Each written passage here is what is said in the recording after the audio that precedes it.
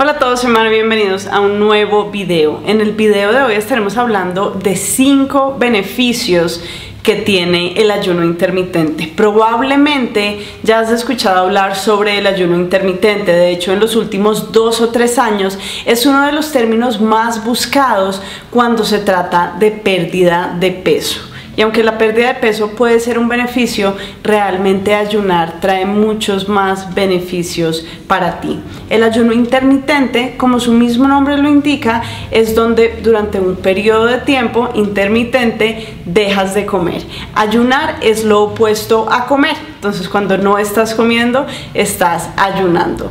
Tal vez el tipo más común de ayuno intermitente es el llamado 16-8 que hace referencia a las horas en las que ayunas y las que comes. Entonces, por ejemplo, haces todas tus comidas en un periodo de 8 horas. Esto se puede ver como hacer tu primera comida del día a las 11 de la mañana y dejar de comer antes de las 7 de la noche. Sin embargo, lo puedes adaptar a comer más temprano, a comer más tarde o lo que funcione para ti.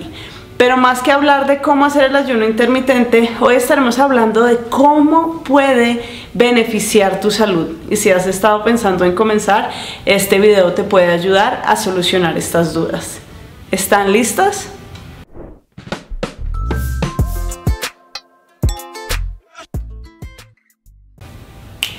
Así es, y vamos a comenzar por la primera razón o el primer beneficio del ayuno intermitente. Y por qué la primera porque es la razón por la cual muchas personas comienzan a hacer ayuno intermitente. Y es que el primer beneficio es pérdida de peso. Así es pero quiero aclarar algo en este beneficio y aunque sí es un beneficio y muchas personas pierden peso al hacer ayuno intermitente, esta no debería ser la razón principal para hacer ayuno, esta no debería ser la motivación y la mentalidad no debería ser cuánto peso puedo perder con ayuno intermitente. Esto va a ser un beneficio que es consecuencia de cómo la salud de tus hormonas mejora. Porque muchas veces cuando pensamos, ay, voy a dejar de comer por 16 horas al día, entonces voy a comer menos y comer menos igual a bajar de peso. Aunque personas eh, que comen en exceso y estén en un exceso calórico, el ayuno intermitente los puede ayudar a, a consumir las calorías adecuadas.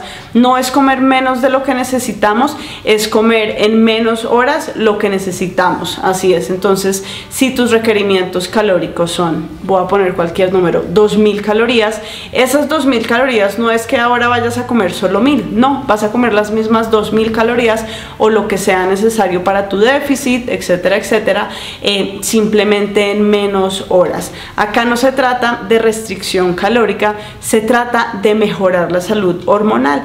Y específicamente el ayuno va a apoyar la salud y buen funcionamiento de las hormonas insulina y grelina. Probablemente ya has oído hablar sobre la insulina, incluso de pronto la resistencia a la insulina es la razón por la cual no puedes bajar de peso o de un momento a otro comiendo lo mismo de toda la vida comenzaste a subir de peso y no entiendes qué está pasando. La insulina es la hormona encargada de decirle a tu cuerpo qué tanta grasa almacenar. No solo eso, la insulina también es la encargada en ayudar a la glucosa entrar a las células para darles energía. Entonces cuando hay resistencia a la insulina, es muy difícil bajar de peso. Una vez el ayuno, digamos cuando tú no estás comiendo, no hay picos de glucosa, no hay montaña rusa de glucosa, entonces asimismo la insulina está tranquilita, descansando. Esto va a ayudar a mejorar tu sensibilidad a la insulina. Adicionalmente, la grelina es la hormona del hambre y muchas veces en estudios se ha demostrado que la grelina es casi como un relojito y a las horas en donde tú estás acostumbrado a comer eh, se activar el, cerebro la activa antes de tu misma, digamos que, hambre física. Entonces, al hacer ayuno intermitente, digamos que los patrones de la grelina van a cambiar y durante las horas que estás haciendo ayuno y también durante tu ventana de alimentación vas a tener menos hambre, porque yo no sé si a ustedes les pasa que a veces uno siente que el hambre es psicológica y que son como antojos simplemente porque uno está acostumbrado, yo no sé si a ustedes les pasaba, yo estaba acostumbrada de sin importar a la hora que saliera de mi casa y yo en una época entraba a trabajar a las 3 de la mañana, yo tenía que comer antes de salir. Y ahora lo pienso y eso nunca fue hambre, fue costumbre. Entonces, bueno, este es un gran primer beneficio. El segundo beneficio es reducir la grasa abdominal. Y no solo la grasa abdominal como grasa alrededor del estómago para bajar de peso, sino específicamente la grasa visceral. Porque es que tener grasa visceral acumulada es una de las grandes señales de que tienes resistencia a la insulina.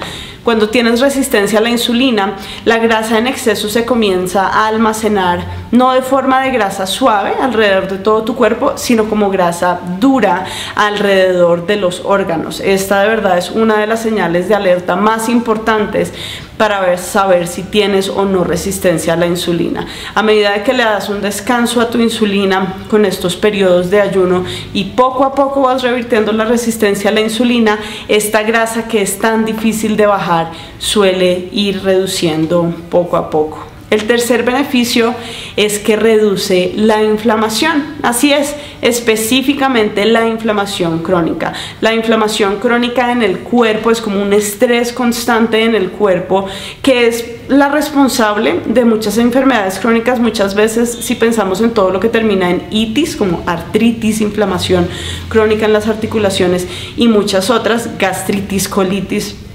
Esto... Eh, digamos que se reduce al hacer ayuno intermitente y acá estarán pensando como, pero ¿qué tiene que ver eso con lo otro? Y es que el ayuno intermitente reduce, digamos que ciertas células blancas que casi que atacan a tu, a tu propio cuerpo y causan inflamación. El ayuno ha demostrado bajar niveles de inflamación en el cuerpo. Un cuerpo digamos que sin niveles de inflamación, sobre todo crónico, va a ser un cuerpo más saludable. El cuarto beneficio es que aumenta los niveles de energía. Y esto es un poco como contraintuitivo, uno pensaría como un segundo, la comida es lo que da energía, ¿cierto? Insisto, una vez más, todos crecimos como, si tienes poquita energía, come, eso es que no has comido esto, lo otro, y nos estuvieron comiendo 6, 7 veces al día.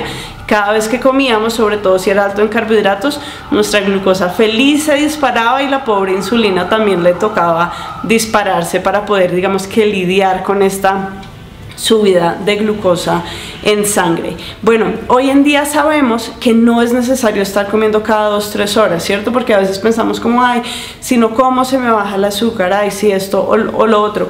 Y de hecho hay algo importante eh, con este tema de se me baja el azúcar que vamos a ver en el siguiente beneficio.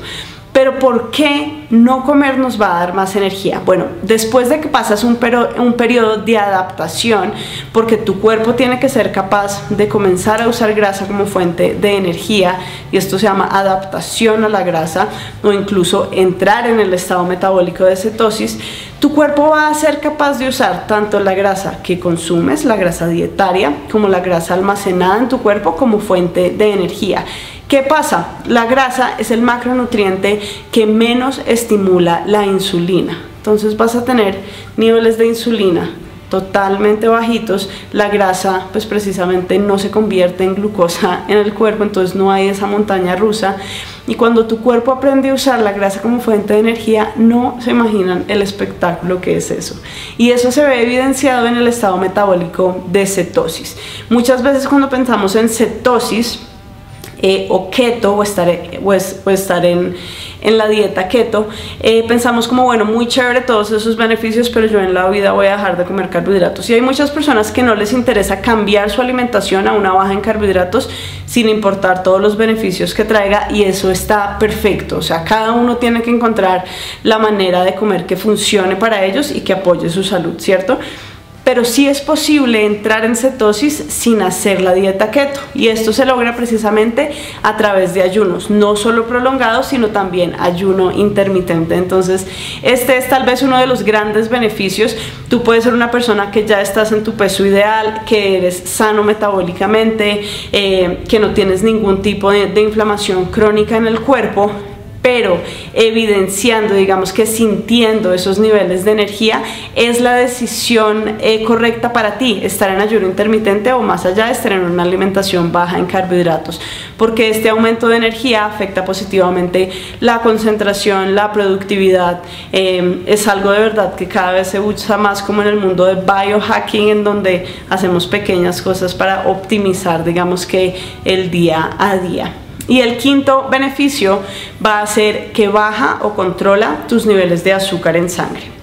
Esto lo hemos hablado a fondo en muchos videos en cómo, digamos que el macronutriente o el tipo de comida que más eleva tu glucosa en sangre es precisamente los carbohidratos, porque los carbohidratos o almidones apenas entran al cuerpo se convierten en azúcar. No hay que pensar simplemente, hay comí azúcar y se me subió el azúcar si comes arroz, el arroz también se convierte en azúcar. Entonces, todos estos carbohidratos eh, que se convierten en azúcar, mejor dicho, acá no vamos a decir que la comida buena o mala, no. Simplemente, entre más alta sea tu dieta en carbohidratos, más se va a elevar tu glucosa, ¿cierto? Y más va a necesitar la insulina. Estos picos altos de glucosa o tener glucosa alta en ayunas se pueden evidenciar como prediabetes, diabetes tipo 2, resistencia a la insulina o así no tengas ninguna de estas enfermedades, los picos de glucosa traen muchas consecuencias negativas para la salud. Entonces, ¿qué pasa si no le estás dando a tu comida en forma de carbohidratos picos y picos y picos de glucosa. Tener niveles estables de glucosa durante el ayuno, porque no estás comiendo nada en esas horas, va a nivelar los niveles de insulina y en general va a mantener tus niveles de sangre más bajos. De hecho, ayunar baja tanto, digamos que los picos de glucosa, que si tú estás tomando un medicamento, voy a poner un ejemplo cualquiera, metformina, pero pues hay mil, eh, en donde el medicamento está bajando tus niveles de azúcar en sangre, es importante que lleves este proceso con tu médico, no un médico en internet que le preguntes, no esto. Tu médico tiene que estar consciente que tú estás ayunando porque esto puede de verdad bajar tus niveles de azúcar en sangre aún más y es importante de pronto reformular ese medicamento o bajar la dosis. Entonces, en general, yo siempre les digo, este tipo de videos son videos educativos y, videos para dar información, pero nunca videos para tomar decisiones médicas que deberías estar tomando en conjunto con tu propio médico súper, súper importante tomar el conocimiento para que nos dé poder y hacer, digamos que las, las preguntas necesarias y las decisiones importantes, digamos que llevado de la mano con, con tu médico. Les voy a dar un bonus, un beneficio número 6 y este yo lo he experimentado de primera mano y es un beneficio eh, que puede mejorar la relación con tu comida. Así es, muchas veces si pensamos en el ayuno estamos pensando en no comer, restricción. De, hecho, sí hay personas que no deberían hacer ayunos, no deberían hacer ayunos ni intermitentes ni, ni prolongados y muchas veces dentro de este grupo de personas están personas que han tenido trastornos alimenticios, sobre todo en donde se privaban de comer. Sin embargo, hay otro tipo de personas, como yo, de pronto tú, que también hemos tenido una mala relación con la comida. Eh, pero pues que ya la comida era demasiado importante. Yo, desde que comencé a hacer ayuno intermitente, por primera vez en mi vida, y pues bueno, esto ya hace más de cinco años, Siento que yo tengo el control sobre la comida y no la comida tiene control sobre mí. Yo si salía de la casa y sabía que iba a estar de la casa más de dos, tres horas por fuera, yo estaba pensando dónde voy a ir a comer, qué voy a comer, qué tengo en mi cartera. El típico, eh, digamos que pues yo sin ser diabética, ¿cómo se me va a bajar el azúcar sino como cada dos horas? Qué liberante es saber que no tenemos que comer cada dos horas la mayoría de seres humanos y que podemos seguir adelante con nuestra vida. Si yo salgo y hago mi primera comida a las 12 está perfecto. Si estoy en un avión de dos horas el vuelo y no quiero comer la comida que me dan, no pasa absolutamente nada si no como por esas dos horas. Entonces en mi experiencia personal de verdad me ha devolví, devuelto, ¿qué tal la que no se ve hablar? Me ha devuelto. Eh, el control. Ahora siento que yo tengo el control y que la comida y pensar en comida todo el día, a pesar de que yo dedico mi vida a desarrollar recetas bajas en carbohidratos, eh, pero ya la comida no tiene como ese control sobre mí. Si es tu primera vez viéndome, me presento rápidamente. Mi nombre es Manuela Echeverría. Hace un poco más de 5 años sigo una alimentación muy baja en carbohidrato que llevo de la mano con ayuno intermitente. No porque me toque, no porque sea obligatorio, sino porque solo aporta beneficios para mi vida y lo hago de manera como intuitiva, se me da. Si tú odias el ayuno intermitente, te da dolor de cabeza, está empeorando tu relación con la comida, te da más hambre, esto y lo otro, no lo hagas, no es obligatorio. Pero además de esos años de experiencia que me gusta, digamos, compartir de primera mano lo que ha sido para mí llevar una alimentación baja en carbohidratos y hacer ayuno intermitente, también tengo 17 años de experiencia en la industria de alimentos y actualmente estoy finalizando una maestría en nutrición y dietética. Todo esto para decirte que me apasiona entender cómo la comida afecta a nuestro cuerpo y compartirlo acá contigo todos los días en YouTube. Eh, de verdad le trae mucho valor a mi vida. Espero que estos videos también te apoyen mucho a ti. Si no te has suscrito, me encantaría que lo hicieras. Es gratis, solo hay que hacer clic en el botoncito. Eh, también quería darles las gracias. Este es el primer video teórico que grabo desde que llegó la belleza, el botón dorado, la placa de un millón de suscriptores. Han sido varios años acá de trabajo fuerte en, en YouTube y quiero darte las gracias. Si tú haces parte de ese grupo de un millón de personas, todavía me explota la cabeza. Eso solo me motiva a seguir compartiendo acá contigo. Adicionalmente, abajo en la cajita de descripción siempre te dejo los enlaces de mis cursos, de mis libros de recetas por si quieres aún más recursos que te van a apoyar a tomar control de tu salud, de tu glucosa en sangre, de tu resistencia a la insulina o diabetes. Si viste el video hasta acá, me encantaría que dejaras el emoji de un rayo. ¿Saben? Hay como un rayo, ya que estamos hablando de la energía que da el ayuno intermitente. Y también me encantaría que tú me contaras cuáles han sido los beneficios que tú has percibido haciendo ayuno prolongado o intermitente. Si te gustó el video, dale like y nos vemos mañana. Chao.